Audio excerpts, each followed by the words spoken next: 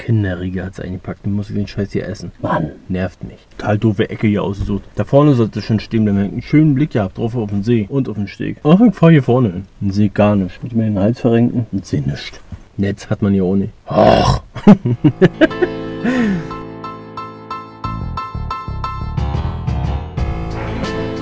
Morgen, heute ist Freitag, der 16. Oktober 2015 und es regnet. Es regnet immer noch, seit drei Tagen oder so. Ich weiß nicht, gefühlt seit einer Woche. Es ist ein Kotzen. Ich, ja, ich habe auch so ein bisschen auf den goldenen Oktober gehofft. Vielleicht hört es heute Nachmittag mal auf. Die Hunde sind auch total frustriert. Den liegt den ganzen Tag nur auf der Couch und pennen. Cookie weiß auch nichts mit sich anzufangen.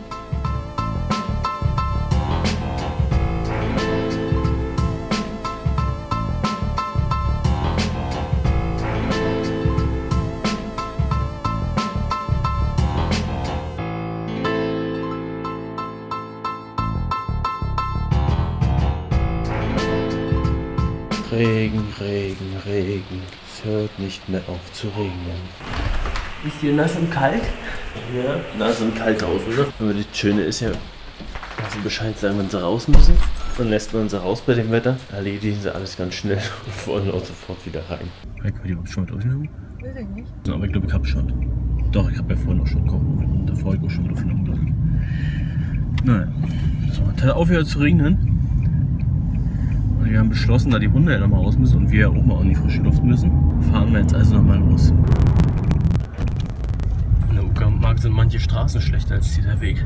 Das ist also der Kölpinsee. Hier sind wir als Kind immer von der Schule her, wenn wir Schwimmunterricht hatten und so und äh, unsere Schwimmstufen abgelegt haben. Früher hieß es bei uns glaube ich noch nicht Seepferdchen. Also zur Ostzeit jedenfalls nicht. Ich weiß gar nicht, ob das einen bestimmten Namen hatte.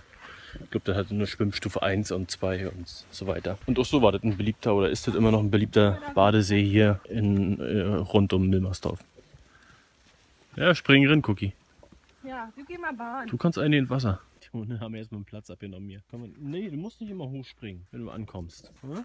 Du musst mir anstupsen. Ich sehe, dass du kommst.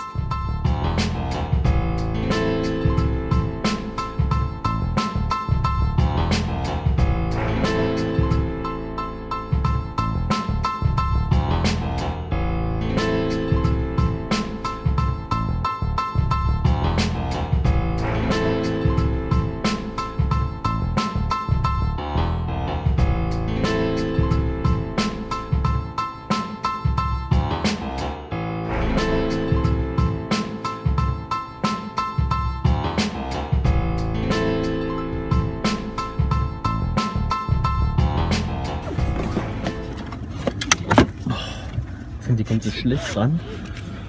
Ist so weit hinten. Ah, Und dann klemmt der meistens irgendwie immer noch so komisch zwischen Sitz und Säule. Wo sind die Akkus? da. Denn ich denke mal, dass bei dir dieselben Akkus drin sind. Wir bei mir tauschen, da passt auf alle Fälle. Das Gute ist nämlich an den, an den Bildschirm, den ich bei mir im Ah. Videorig noch dran habe, Ja. da kommen die, dieselben Akkus ran wie die Kameras. Deswegen habe ich, Zu viele. Aber das viele, vier Stück habe ich. Einen für die Kamera, einen für den Bildschirm und zwei Ersatz halt. Ah. Könnte gerne mehr sein eigentlich, aber ne. Kostet ja auch ein bisschen. Ja, wenn die Originalakkus nur ist, ja. Ja, die Originalen kosten. Ich habe ja ich hab zwei Originale und Ah. zwei. Der Nick hat mal so ein bisschen schon geguckt. Steht ja dann immer da für welche Kamera. LPE 6N. Und da habe ich welche, zwei für 30 Euro. Ah, ich weiß es nicht, Mann. Ich will es nicht riskieren. Nee, deswegen. Also bei meinen ist LPE, LPE 6 und bei deiner ist LP6N. Blinkende GPS-Welle hier sogar. Weil das anders. Ist das immer an? Nee, habe ich erst angemacht gehabt. Ne, die Kamera ist aus.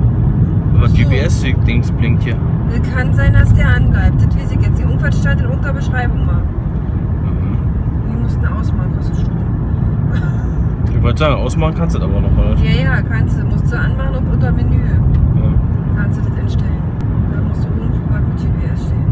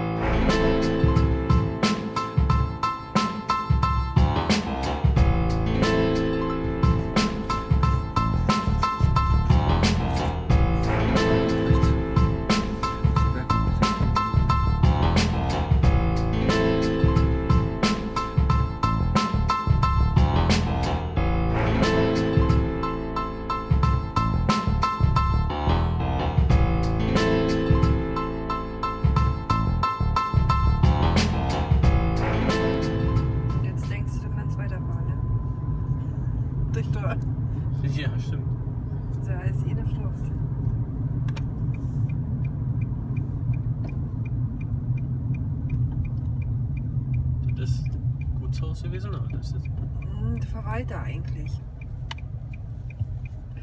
Da waren eigentlich die ganzen Angestellten wohl so, so äh, untergebracht vom Schloss. So hat das Oma mal erzählt. so, und das Schloss steht aber nicht mehr. Das Schloss ist abgebrannt, 45. Ach Da so. siehst du nur ein paar Grundmauern. Die Treppe ist noch. Dann wurde man irgendein Gebäude mal errichtet da drauf. Ja. Und das hatten sie aber so für Tanzveranstaltungen, so vom VE gut, sag ich jetzt mal so was, von MTS oder was das war. Ja. Früher da. Die waren ja da auf dem Gelände. Kannst du hier irgendwo anhalten? Nur vorne, Forstberg. Das Wetter spielt leider nicht in unsere Karten, aber trotzdem ist da echt ein schöner Blick hier. Ist das schön oder ist das schön? Was eine schöne Landschaft hier doch ist. Ehrlich, muss ich immer wieder feststellen. Irgendwann ziehe ich wieder hierher. Kurzer Zwischenstopp. Wir fahren eine ganz andere Strecke, als wir eigentlich wollten, aber ist egal. Hier sind wir bei dem Ort Wüste Kirche. Ich wollte euch nur erstmal diesen riesen Findling zeigen hier. Ich möchte jetzt eigentlich nicht raufkrabbeln, weil ich garantiert runterfliegen möchte.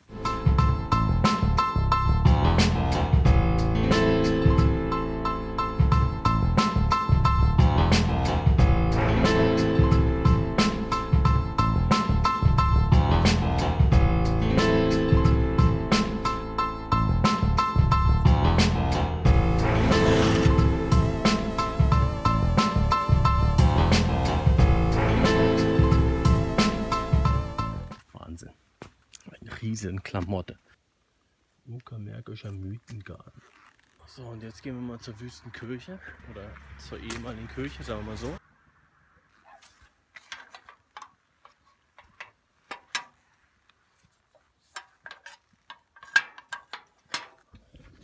Kann jetzt gar nicht zur Geschichte sehen. Mona, weißt du irgendwas? Steht hier vorne. Ja, da habe ich gerade gefilmt. Ich habe jetzt aber nicht gelesen. Aber erzählen kann ich jetzt auch nichts. Weiß nur, dass ich hier mal einen Cache gefunden habe. Geocache.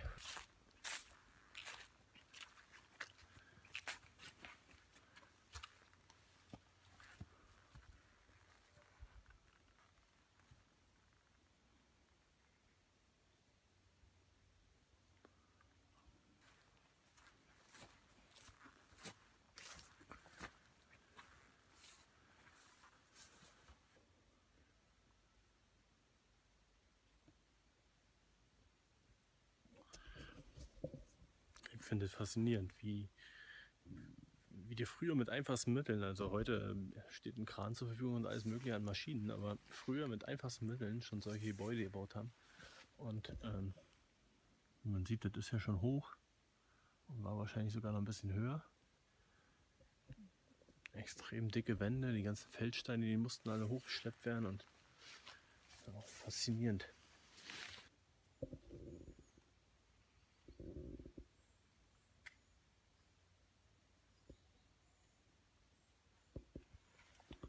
Krass. Boah, guckt mal. Eine Weinbergschnecke. Schon ewig nicht gesehen. Sieht man selten. Sind sehr selten geworden. Richard Bettatsch wahrscheinlich. Ich glaube, das ist so ein Haken über den C. Rittergutsbesitzer und Amtsvorsteher. 28.01.1861 bis 11.12.31. Rittergutsbesitzer. Irgendwie finde ich das einen sehr faszinierenden Ort. Diese alte Kirchenruine, die Bäume hier vor. Hat irgendwie was sehr schön. Hast du die Straußen fotografiert? Ja. Achso. Ne, da hinten ist nämlich eine Straußenfarm. Da kannst du Straußenfleisch kaufen, Straußeneier Und Wurst. und Wurst. Ganze Strauße, lebende Strauße leider nicht. Das wäre das Einzige, was ich kaufen könnte. Aber was will ich mit einem großen Strauß? Kannst du wahrscheinlich auch nicht abrichten. Stell dir mal vor, so einen großen Strauß und kannst ihn abrichten. So dass er auf Befehl mit seiner dicken Klaue wir ein Kampfstrauß.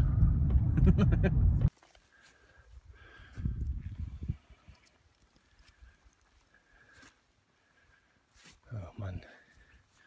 Bin zu faul, ihr Bier mitzunehmen. Ich meine, das ist auch Geld. Lassen den Scheiß lieber hier rumstehen. Ohne. Wir müssen nachher Müll mit runternehmen. Aber muss denn nicht sein? Verstehe ich nicht so, ne?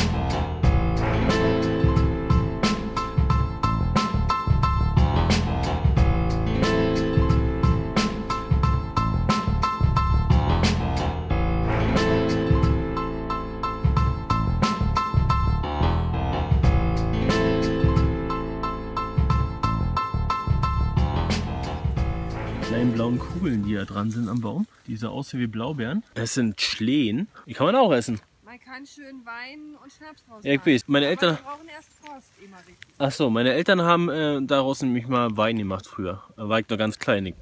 Wäre jetzt übertrieben zu sagen, kann mich daran erinnern. Also ich weiß nicht, wie es schmeckt hat, wenn ich überhaupt probiert habe. Soll sehr gut schmecken. Ansonsten aber auch ein schönes Fleckchen hier. Kannst du schön gucken.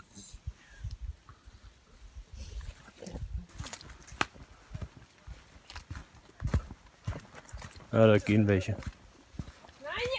Lass. Schön hier bleiben jetzt.